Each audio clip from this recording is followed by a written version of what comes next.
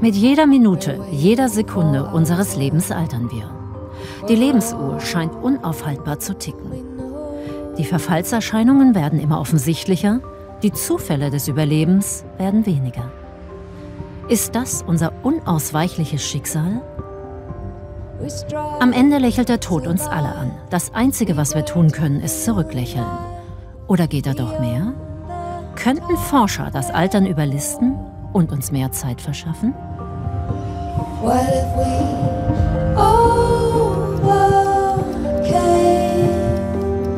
The obstacles, the rubble and the dust, cross the line to rise above, to take a glimpse beyond the horizon. Während traditionell der Tod die Domäne von Geistlichen war, ist er jetzt auch die von Forschern, wie Steve Horvath. Er will den Tod aus der Welt schaffen, die Lebensuhr anhalten, vielleicht sogar zurückdrehen. Um zu verstehen, warum wir altern, hat der Genetiker Steve Horvath einen Blick in das Uhrwerk des Alterns geworfen und eine bahnbrechende Entdeckung gemacht. In unseren Zellen tickt eine molekulare Uhr im Gleichtakt mit unserem Leben. Läuft sie schneller, sterben wir früher, läuft sie langsamer, leben wir länger. In meinem Forschungsbereich geht es darum, sehr genaue Altersuhren zu entwickeln, die anzeigen, wie alt das Gewebe ist, wie alt die Organe des Menschen sind. Und ähm, ich kann natürlich ähm, dann sagen, dieses Gewebe ist jünger als das Gewebe. Und dann kommt sofort die Frage, warum ist dieses Gewebe jünger? Das heißt, wenn ich weiß, wie wir alt werden, ja. dann kann ich das auch verhindern, dann kann ich auch das Rad zurückdrehen. Ganz klar. Also man muss unterscheiden zurückstellen von verlangsamen. Ja? Genau. Ich denke, es wird natürlich viel leichter sein, die, das Ticken der Uhr zu verlangsamen. Äh, äh, das ist immer das ist wahrscheinlich viel realistischer. Etwas zurückzuschrauben ist tatsächlich aber im Prinzip möglich. Horvath fand also heraus, dass in jeder Zelle eine Uhr tickt. Und er hat das Messinstrument entwickelt, mit dem er das biologische Alter des Menschen anhand chemischer Veränderungen an der DNA messen kann. Dafür braucht er nur ein wenig Blut, wie das von seiner Frau Lore. Das Alter messen wir in Jahren, doch wie alt ist seine Frau wirklich? Steve misst Loras epigenetisches Alter, das, was nicht in ihrer Geburtsurkunde steht. Laut dieser ist sie 39. Lora wird sich freuen. Steve findet heraus, biologisch ist sie drei Jahre jünger. Seit vielen Jahren forscht Horvath in Los Angeles an der mathematischen Formel des Lebens. Den gebürtigen Frankfurter zog es in die USA, weil Forschung dort mehr Freiheiten genießt. Menschen verjüngen. Warum denn nicht? Diese Mentalität hat ihn gereizt. Seit 30 Jahren arbeitet der gebürtige Hesse in den USA und ist mittlerweile der berühmte Erfinder der sogenannten Horvatschen Uhr. Doch man kann sie weder anfassen noch sehen denn sie tickt in den Körperzellen und besteht aus einer mathematischen Formel. Mit dieser wertete Horvath die Gendaten von 8000 Menschen aus.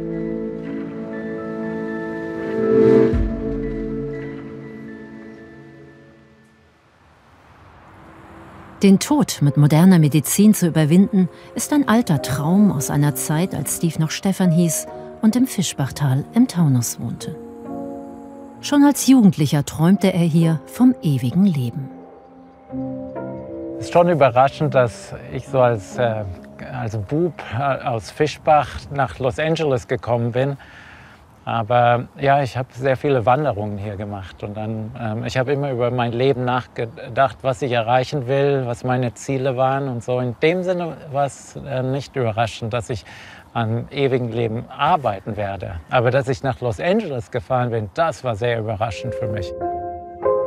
Dass Horvath die Lebensuhr entdeckte, hat vor allem mit seinem eineigen Zwillingsbruder Markus zu tun. Ich bin ein eineiiges Zwilling. Mein Bruder ist homosexuell. Warum ist er homosexuell und ich nicht? Ich analysiere die Daten und da ist kein Unterschied. Diese Daten erklären einfach nicht, warum Leute homosexuell sind. Er hatte dafür die chemischen Veränderungen an der DNA untersucht und machte dabei noch eine ganz andere Entdeckung. Ich wende die Algorithmen an und ich falle fast vom Stuhl, als ich die ersten Ergebnisse sehe. Weil in diesen Methylisierungsdaten war ein riesiges Signal fürs Altern. Ja? Und da ging sofort bei mir ähm, ein Licht auf. Und ich habe gesagt, wow, diese, diese Daten sind sehr gut für die Altersforschung. Sofort fragten wir uns, können diese Daten vorherbestimmen, wie lange man lebt? Können Sie? Ja, kann man, ja. Horvath stellt einen uralten Glaubenssatz in Frage, dass das Altern unumkehrbar ist. Täglich nimmt unser Erbgut Schaden. Zunächst kann unser Körper vieles reparieren. Doch in den Genen tickt eine molekulare Lebensuhr. Läuft die Zeit ab, verlieren unsere Zellen die Fähigkeit zu funktionieren. Dieses Verfallsdatum will Horvath außer Kraft setzen, indem er die Gene wieder aktiviert. Der Forschungszweig, der sich mit diesen biochemischen Veränderungen der DNA beschäftigt, heißt Epigenetik. Der große Unterschied zwischen Genetik und Epigenetik ist, dass Genetik ist sozusagen festgefügt ähm, und kann eigentlich nicht verändert werden. Im Gegensatz ist es recht einfach, epigenetische Muster zu verändern. Epigenetische Veränderungen passieren im Körper von selbst, werden aber auch von außen beeinflusst. Rauchen, Umweltgifte, Stress und Ernährung können zu Fehlern in der epigenetischen Software führen. Die Welt fließt sozusagen durch uns hindurch.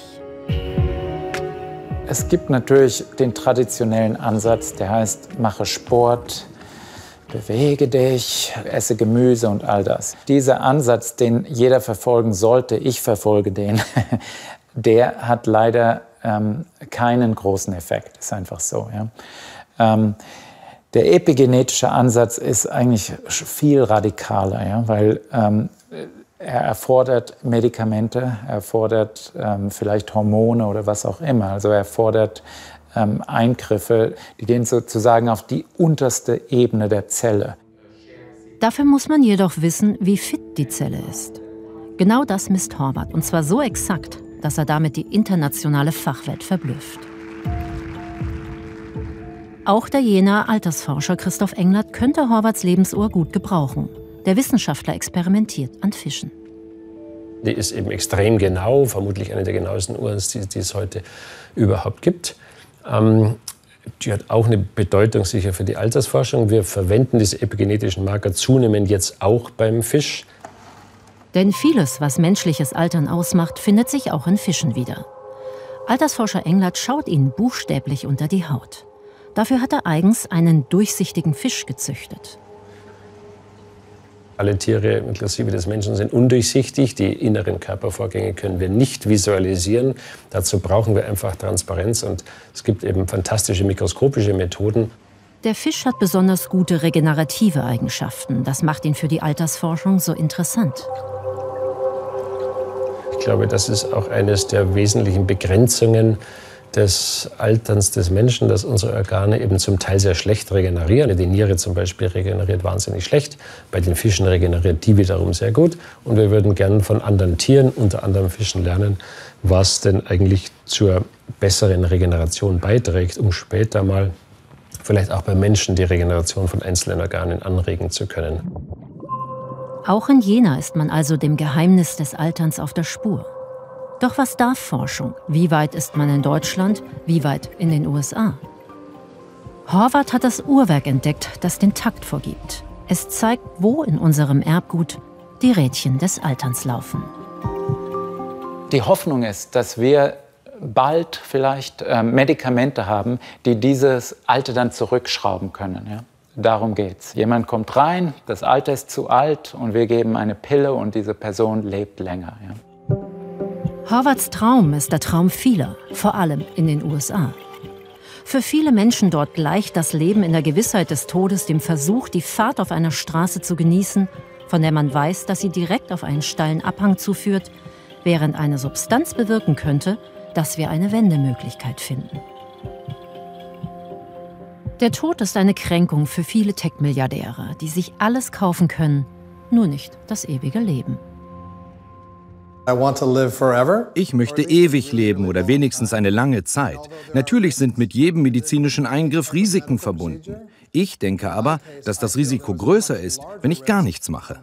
Bisher lebt ja niemand ewig. Paul Heinig will sich mit dem Alter nicht abfinden. Deshalb nimmt er an einem spektakulären Menschenversuch teil. Also, wenn ich lange leben will, muss ich etwas wagen. Der 56-jährige Topmanager ist einer von neun Probanden, die mit Medikamenten epigenetisch verjüngt werden sollen. Es wäre das erste Mal, dass so etwas beim Menschen gelingt. Dieses weltweit aufsehenerregende Experiment hat das kalifornische Startup Interven Immune entwickelt. Das Unternehmen will den Thymus wiederbeleben, eine Drüse, die unter dem Brustbein liegt und das Immunsystem fit hält.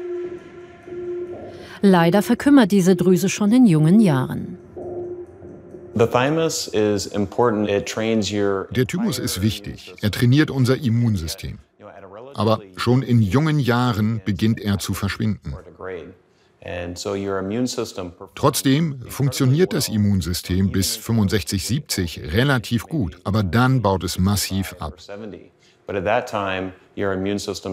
Und das fällt dann mit einem starken Anstieg des Krebsrisikos und Infektionen wie etwa der Grippe zusammen.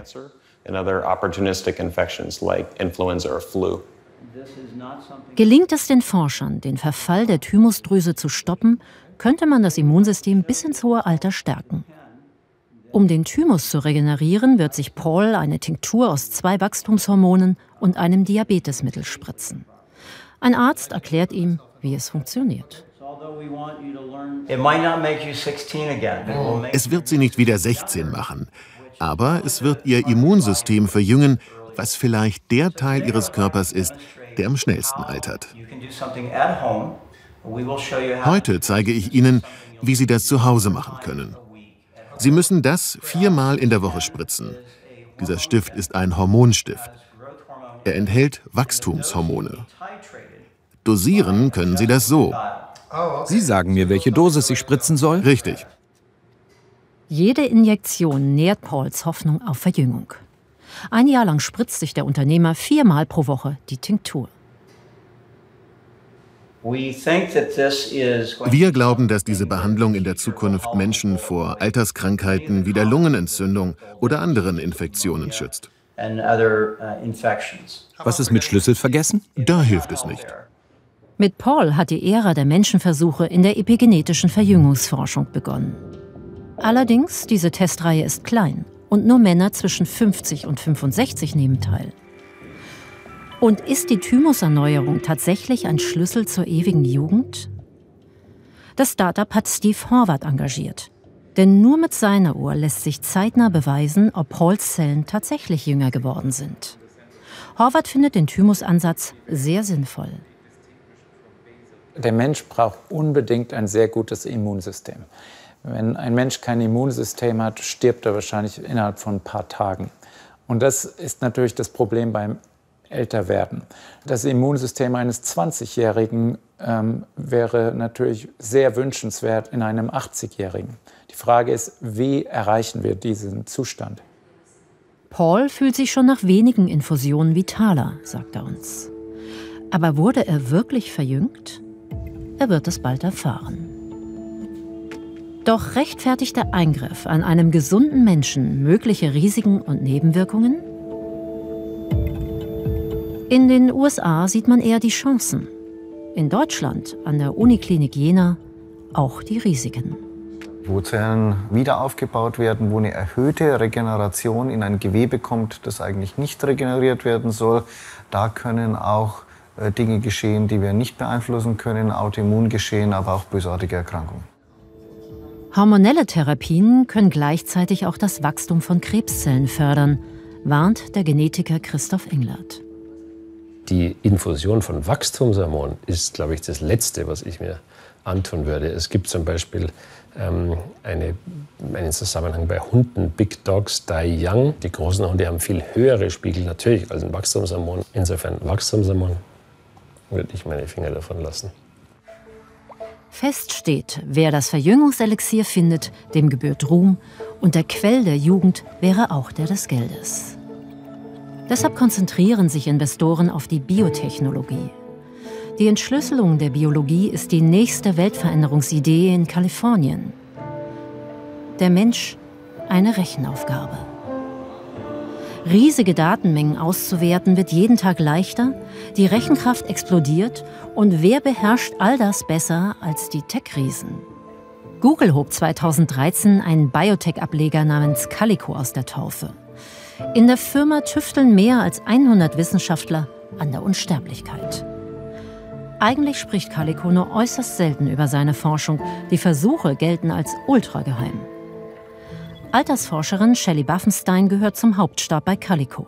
Sie erlaubt exklusiv einen Einblick in ihr Forschungsfeld. Ich hoffe, dass wir mit größeren Datenmengen und künstlicher Intelligenz in der Lage sein werden, dem Altern auf den Grund zu gehen. Ich glaube wirklich, dass wir während meiner Lebenszeit grundlegende Fortschritte machen werden, das Altern zu verstehen und zu verlangsamen.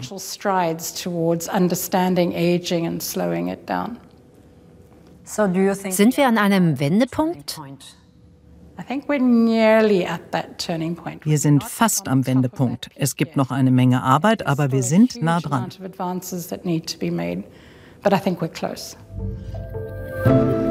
Helfen sollen dabei die riesigen Rechenkapazitäten von Google.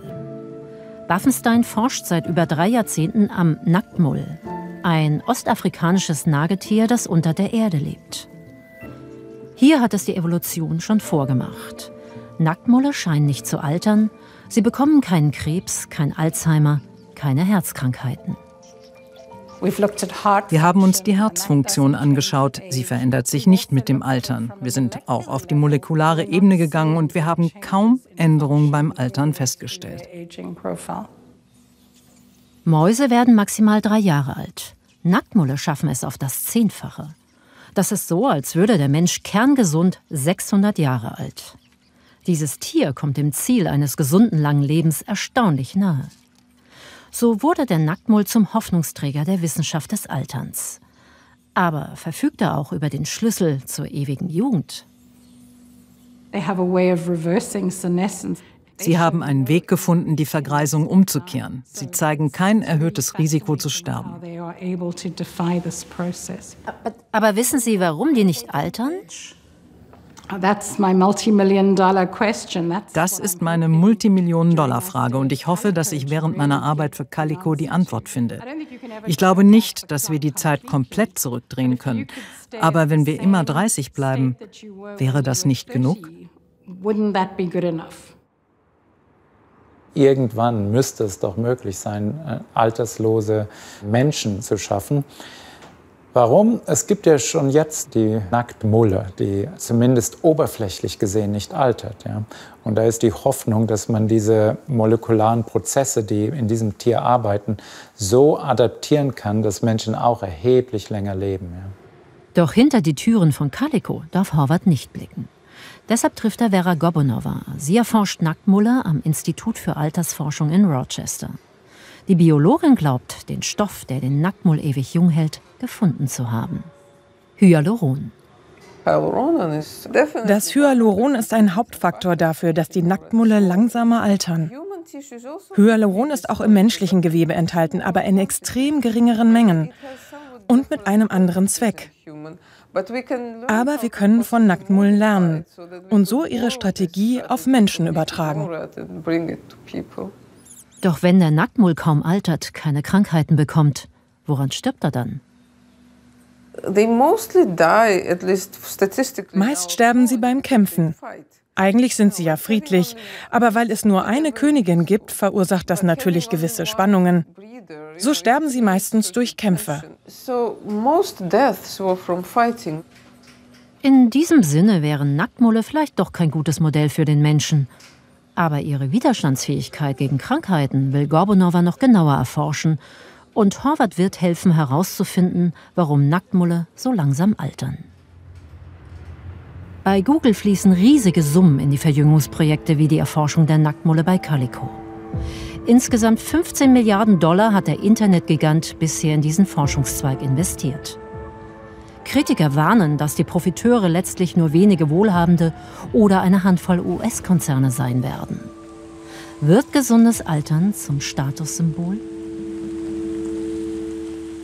Wie viel kostet denn das ewige Leben?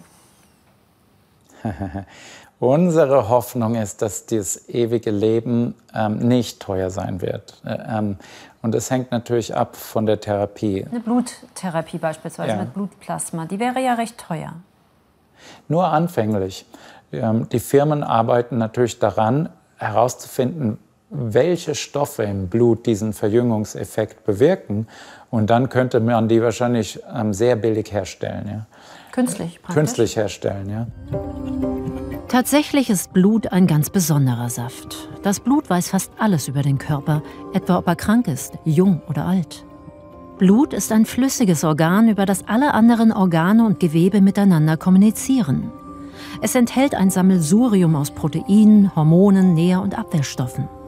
Fast die Hälfte unseres Blutvolumens besteht aus Zellen. Einige Wissenschaftler glauben, die Jungbrunnen-Essenz im Blut identifiziert zu haben. Junges Blut gilt als das Verjüngungselixier. Besonders Aufsehen erregte die Entdeckung des Hirnforschers Tony Weiss-Corey. Wir treffen den Stanford-Professoren für Neurologie in seiner Firma im kalifornischen Menlo Park. Der Hirnforscher will Alzheimer heilen. Das Gehirn ist sehr interessant, wenn man jetzt versucht, das Gewebe vom Blut aus zu verjüngen, dann weiß man ja, das Gehirn, das braucht 20 Prozent des Blutes. Das macht es unter Umständen möglich, dass das Gehirn ein, ein gutes äh, Organ ist, das man verjüngen könnte, wenn man jetzt vom Blut aus diesen Ansatz nimmt. Das macht es einfach, mit jungem Blut das Gehirn zu verjüngen? Ja, falls das wirklich funktioniert in Menschen. Bei Mäusen funktioniert es bereits. Das hat Weiss Corey mit Experimenten bewiesen, die ihn über Nacht berühmt gemacht haben.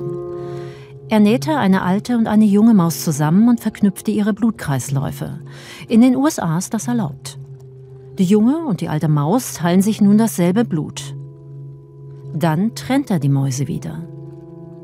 Das jugendliche Blut, das durch die Adern der alten Maus pulst, lässt ihre Muskeln straffer, ihr Herz kräftiger werden. Ob braune oder weiße Mäuse, Sie alle wirken verjüngt. Denn das junge Blut macht ihre Organe leistungsfähiger, sogar das Gehirn. In Labyrinth-Tests irrte diese altersschwache Maus zunächst minutenlang herum. Nachdem sie junges Blut bekam, findet sie ihr Futterloch auf Anhieb. Wenn wir dann die Gehirne dieser Mäuse anschauen, dann stellen wir fest, dass die weniger Entzündung haben, die haben mehr äh, Stammzellen, die haben mehr neuronale Aktivität und die sehen allgemein sehen die aus wie jüngere Gehirne. Also äh, als, als ob wir da wirklich das Alter des Gehirns in die jüngere Zeit verschieben. Aber wie können vom Alter erschöpfte Zellen plötzlich ihre Jugendlichkeit wiederfinden? Im jungen Blut finden sich Substanzen, die die Stammzellen vital halten. Im alten Blut dagegen kreisen Stoffe, die sie stilllegen. Welche Bestandteile im Blut die Lebensuhr rückwärts laufen lassen, das erforscht Corys Firma. Anfangs haben wir Mäuse mit Mausblut behandelt. Dann haben wir Mäuse mit menschlichem Blut behandelt und haben zeigen können, im menschlichen Blut gibt es Faktoren, die eine alte Maus jünger machen können. In der dritten Stufe nun haben wir direkt äh, humanes Blut von jungen äh, Spendern, haben wir Alzheimer-Patienten gegeben. Je älter der Mensch wird, desto anfälliger wird sein Gehirn für Verschleißerscheinungen. Alzheimer, eine Form von Demenz, ist eine Volkskrankheit. Das Gedächtnis schwindet, das Ich zerfällt. Man schätzt, dass jeder Zweite nach dem 85. Lebensjahr an Demenz erkrankt. Und es gibt bisher keine einzige wirksame Therapie. Ist junges Blut die Lösung? Und wie kann man herausfinden, ob die Gehirne dadurch wirklich verjüngt werden? Wenn wir jetzt das auf molekularer Ebene beweisen möchten, dann könnten wir tatsächlich diese epigenetische Uhr, die äh, Dr. Horvath beschrieben hat, könnten wir brauchen. Bisher hätten die Forscher auf den Beweis Jahrzehnte warten müssen. Mit Horvaths Uhr würde das viel schneller gehen. Doch manchen geht selbst das nicht schnell genug. Kaum wurde die Wirkung des jungen Blutplasmas auf die alten Mäuse bekannt, ließen reiche Tech-Mogule aus dem Silicon Valley junges Blut in ihre Adern pumpen. Und Scharlatane witterten das ganz große Geschäft. Eine Firma bot versuchsweise literweise junges Blutplasma an für bis zu 8000 Dollar. Der Firmenchef warb, wie ein Ölwechsel beim Auto sei das, und selbst seinen Eltern verabreichte er frisches Blut. Schließlich stoppte die US-Gesundheitsbehörde diese Geschäftsidee. Sie würden sich jetzt selbst nie junges Blut spritzen? Nee, ganz sicher nicht. Ich möchte dieses Resultat zuerst sehen, weil auch wenn das nicht schädlich ist, möchte ich zuerst wissen, ob das einen Effekt hat. Ich nehme nicht einfach irgendein Medikament, nur weil es nicht schädlich ist. Ich nehme nur ein Medikament, wenn ich es brauche. Horvath findet, es komme auf das Alter an, in dem man solche Therapien ausprobiert. Nehmen wir meinen Vater, der ist jetzt 86 Jahre alt. Mein, wenn mein Vater gar nichts macht und nur das gesunde Leben lebt, hat er natürlich ein sehr hohes Risiko, bald zu sterben. Ja? In dem Sinne, nichts tun ist auch sehr gefährlich. Ja? Es hängt von der Person ab. Ähm, wenn diese Methode funktionieren würde, ich wäre der Erste, der meinen Vater dahin fliegen würde und sage, mach diese Transfusion. Ja? Das globale Geschäft rund um den Kampf gegen das Älterwerden ist eine Milliardenbranche, ein riesiges Geschäftsfeld. Und Risiken sind schnell verdrängt, wenn die ewige Jugend lockt. Es ist immer die Frage, würde ich das selbst machen lassen? Meine Antwort ist auf keinen Fall. Äh, denn ich weiß ja gar nicht, was sonst in dem Blut einfach noch drin ist. Ja, da wird ja nicht alles getestet. Und ich hätte auch gewisse Sorge vor ja, infektiösen Geschichten, die da drin sind, die man vielleicht noch gar nicht kennt, die man nicht detektieren kann. Also da wäre ich auch sehr, sehr, sehr vorsichtig. Ganz grundlegend ist jeder Eingriff, jede, jedes Medikament, das wir geben oder jeder direkte Eingriff am Körper des Patienten potenziell juristisch erstmal eine Körperverletzung, es sei denn, sie ist medizinisch indiziert. Das ist bei Patienten, die wirklich eine Krankheit haben, ganz klar der Fall. Blut kann Leben retten. Deshalb arbeitet auch Hämatologe Florian Heidel mit frischem Blut. Aber nicht um Gesunde zu verjüngen, sondern um Kranke zu heilen. Sein Patient leidet an einer Blutbildungsstörung. Der Akku ist leer oder man ist total am Limit. Man hat immer so das Gefühl, man kippt gleich um. Guntram Schönfeld ist einfach nur froh, dass er immer wieder frisches Blut bekommt. Ich bin ja jetzt echt dankbar, dass es da genügend Leute gibt. Die Blut spenden? Ja, einfach das. Ich könnte ja auch hier liegen und es ist kein Blut da für mich. Das ist schon ja, ein Geschenk. Skandalös findet er es, wenn sich gesunde Menschen frisches Blut kaufen jetzt der Millionär sagt, okay, der große Manager, ich probiere das jetzt aus, dann wäre ich 100 Jahre alt und der Arme, der ist ja dann egal. Das darf nicht zum Kommerz ausarten, sondern wirklich für die, die es notwendig haben. Für ihn ist es überlebensnotwendig. Das frische Blut soll seine eigene Blutbildung wieder in Gang bringen. Sollte das nicht möglich sein, dann müssen wir mit einer Stammzelltherapie, mit einer Transplantation von Stammzellen von einem anderen Menschen das Immun- und Blutsystem neu aufsetzen. Das heißt, wenn Sie Ihrem Patienten jetzt Stammzellen von einem 20-Jährigen geben, wird er epigenetisch, biologisch verjüngt? Wir versuchen natürlich, äh, den Patienten Stammzellen zukommen zu lassen, die möglichst fit sind. Und insofern ähm, wird natürlich der Patient gewissermaßen auch durch die Transplantation von jungen Stammzellen verjüngt. Nun ist es ja so, dass Sie neues Blut bekommen, Stammzellen eventuell auch bekommen. Wussten Sie eigentlich, dass Sie wahrscheinlich sogar dadurch tatsächlich auch verjüngt werden könnten? ja, okay. Aber darüber habe ich jetzt nicht nachgedacht. Andere schon. Die Life Science Industrie ist gierig und will Geld verdienen. Startups der Unsterblichkeitsindustrie schießen wie Pilze aus dem Boden. Das geht inzwischen auch Harvard zu weit, der sonst mutige Ideen gerne unterstützt, aber nicht, wenn es nur um den schnellen Profit geht.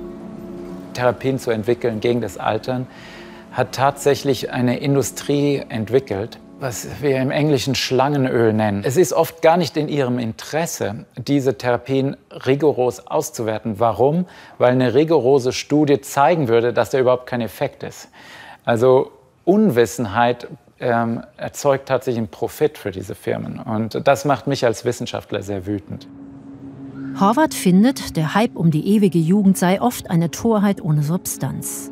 Aber wer das Altern besiegen wolle, müsse auch etwas wagen. Die meisten Menschen wollen eine Pille, die sie jünger macht, und das möglichst bald. Denn die Uhr tickt. Auch viele Forscher in Kalifornien glauben an die Unsterblichkeit. Vielleicht, weil das Jenseits für sie nicht existiert. So sind sie gezwungen, den Traum vom ewigen Leben ins Diesseits zu verpflanzen. Der Bioinformatiker Aubrey de Grey gilt weltweit als Visionär, als das Gesicht der Altersforschung. Sein Credo, die Grenzen der Biologie sprengen und das Altern besiegen. Wenn wir die Medizin haben, die Altern behandelt, dann gibt es kein Limit, wie lange Menschen leben können. Altern bedeutet krank werden. Und wenn wir Menschen daran hindern, krank zu werden, sinkt die Wahrscheinlichkeit zu sterben. Aubrey de Grey hält die Annahme, dass Altern unvermeidlich ist, für Unsinn. Altern und Tod verdanken wir einem evolutionären, aber reparablen Fusch. Man müsse nur die Schäden im Zellinnern beseitigen. Unsere Zellen haben kein eingebautes Verfallsdatum, so de Grey, und kein biologisches oder physikalisches Gesetz schreibe vor, dass sie älter werden müssen. Das Ideal sei ein epigenetisch dauergewarteter Körper, der nie erlahmt. Stellt euch den menschlichen Körper als eine wirklich komplexe Maschine vor. Im Betrieb entstehen bestimmte Schäden. Die müssen dann jeweils einzeln repariert werden. Von dem Ansatz halte ich überhaupt nichts tatsächlich. Ähm, denn es gibt ja, glaube ich, sechs oder sieben Dinge, die wir nach Aubrey de Grey bei Menschen beheben müssen. Sie müssen die Energie äh, irgendwo herbekommen, um diese ganzen Sachen zu beheben. Und ich frage mich, wo die eigentlich herkommen soll. Und kann man Menschen mit Maschinen vergleichen, die nur repariert werden müssen, um zu funktionieren? Ein einziger Unfall genügt und alles ist vorüber. Überleben ist nichts, das man ein für alle Mal tun könnte, um sich dann entspannt zurückzulehnen. Man muss es jeden Tag, jede Stunde, jede Minute tun. Wäre ein Leben ohne Ende ein Leben ohne Ziel, ohne Sinn? Denken Sie zum Beispiel an eine, eine, Geschichte. Äh, eine Geschichte erhält ja im Grunde genommen auch ihren Sinn, ihre Kohärenz, äh, auch ihre, ihren, äh, ihre Richtung, wenn sie ein Ende hat. Also das Ende, kann, das Ende definiert dann die Geschichte. Und in diesem Sinn kann man auch sagen, ist das menschliche Leben eine Geschichte, die man erstens mal erzählen muss und diese Geschichte, die auch ein Ende hat. Es muss ja nicht ein Happy End sein. Die Fantasie vom Leben in einer Endlosschleife mindere die Qualität des Erlebten, so der Philosoph, denn die ewige Wiederholung lasse alles fahl werden. Warum ist verlängerte Lebenszeit nicht unbedingt ein Zugewinn an Sinn? Ja, will man dann immer mehr vom Gleichen, nicht wahr? Also will ich zum Beispiel, äh, äh will ein, ein Federer äh, will der jetzt noch 25 äh, Jahre weiterspielen und immer noch äh, gewinnen? Ist das dann der Sinn des Lebens? Man kann sagen, ja, dann musst du halt etwas Neues beginnen, nicht wahr? Ähm, okay, aber um etwas Neues zu beginnen, muss man sich eben zunächst mal diese Fragen stellen. Man muss, äh, man muss angeregt werden, man muss sozusagen gezwickt werden, nicht mal äh, von diesem Ende, das da winkt. Aber dazu, behaupte ich, brauchen Sie nicht Lebensverlängerungstechnologie. Das sehen viele Forscher und Investoren anders. Der Web.de-Erfinder Michael Greve etwa steckt Millionen in die Lebensverlängerungsindustrie. Sie sei der einzige Motor, um die Pläne der Natur zu durchkreuzen. Deshalb stiftet der Investor auch Aubrey de Grey Millionen für den Kampf gegen das Altern. Da passiert was ganz Unglaubliches. Ich persönlich gehe davon aus, dass äh, auch die größte Industrie in der Geschichte der Menschheit entstehen wird. Schon jetzt fließen mehr als 20 Prozent der US-Staatsausgaben in das Gesundheitssystem. Ein globaler Milliardenmarkt. Es betrifft jedem auf dem Planeten. Wir reden von einem Markt mit 4 Milliarden Kunden. Große Kundenzahlen mit hohem Wettbewerb wird heißen steigende Produktqualität bei sinkenden Preisen. Es wird überhaupt kein Thema sein. Dass es für jedermann zugänglich Absolut. ist. Und man muss ja auch dagegen rechnen, äh, wir werden ja nicht mehr krank werden. Das heißt, alles Geld, was wir jetzt ins Gesundheitssystem investieren, steht ja zur Verfügung, um uns einfach schon gesund zu halten. Greve veranstaltet Kongresse, auf denen er die Crème de la Crème der Altersforschung zusammenbringt. Dort geht es vor allem um die Verlängerung der gesunden Lebensspanne.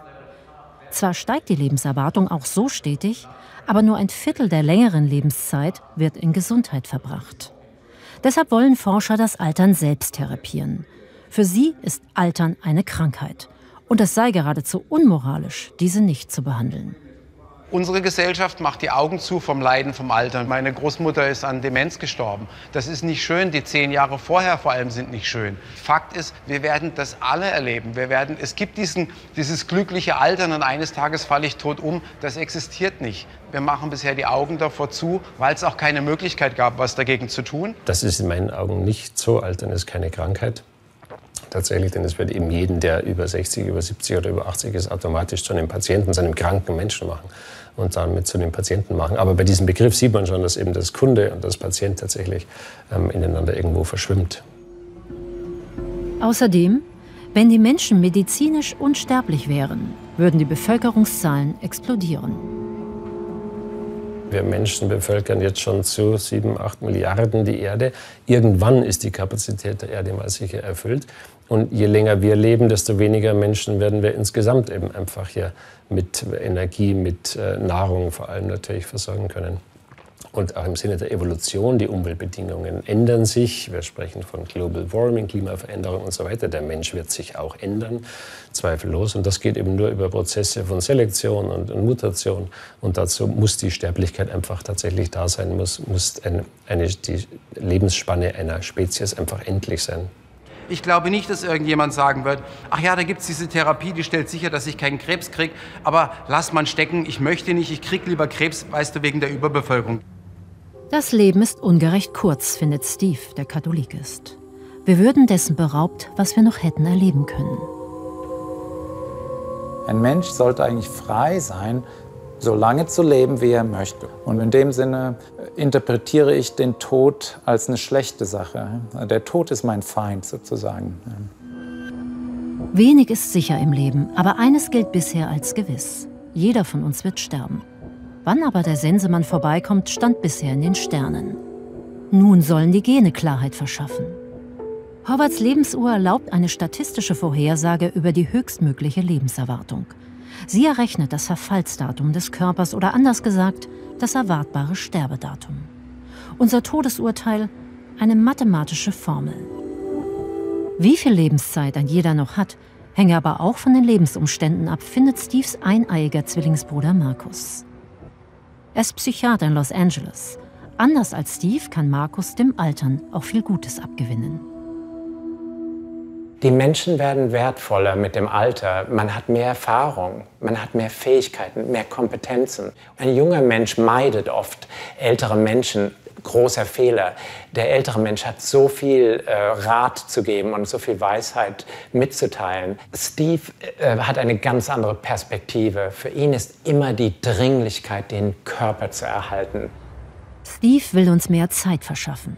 Die könnte auch sein Bruder Markus gebrauchen, denn dieser hat mit 51 zwei Kinder adoptiert.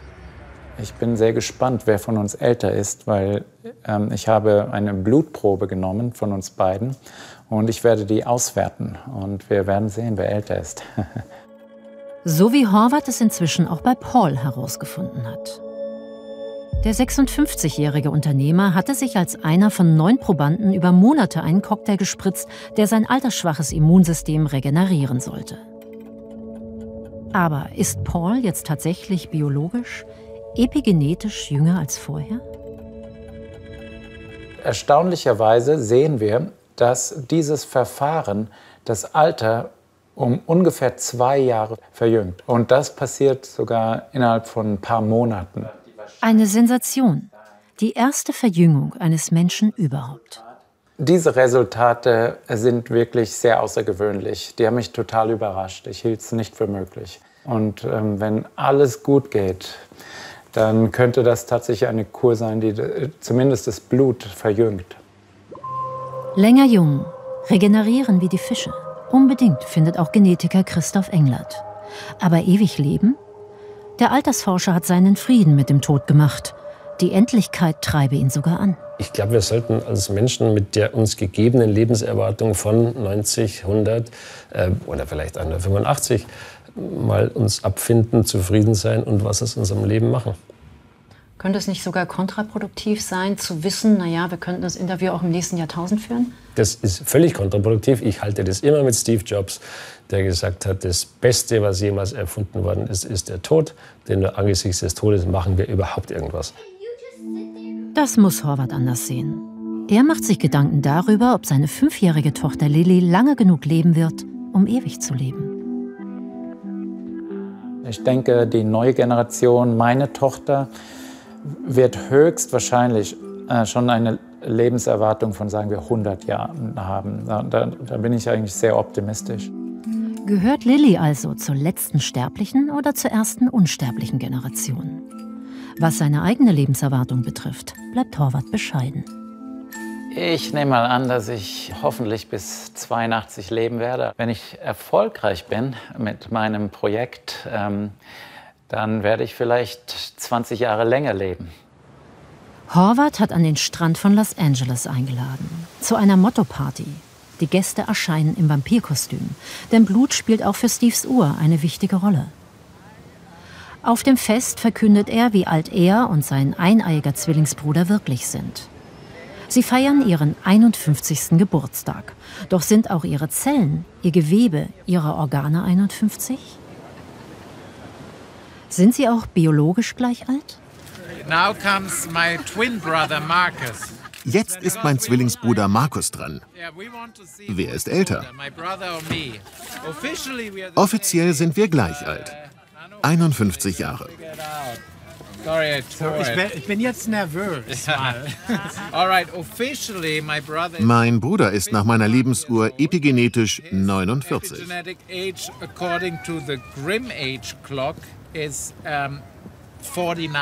Also zwei Jahre jünger.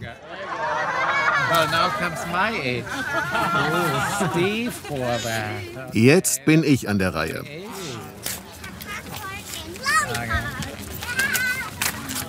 Offiziell bin ich 51, aber epigenetisch 55. So I'm actually older than Marcus, you know. Steve ist nicht älter, aber eindeutig schneller gealtert als sein eineiiger Bruder Markus. Das biologische und das chronologische Alter gehen also nicht im Gleichschritt. Tatsächlich ist die epigenetische Uhr aufschlussreicher als die bloße Zahl der Lebensjahre denn sie zeigt den biologischen Zustand unserer Zellen an und nicht nur die vergangene Zeit. Vielleicht hat Horvath nicht das komplette Uhrwerk ergründen können, das in unseren Zellen tickt. Aber er hat die Feder gefunden, die das Uhrwerk am Laufen hält. Und ist überzeugt davon, dass man an dieser Uhr drehen kann und wird.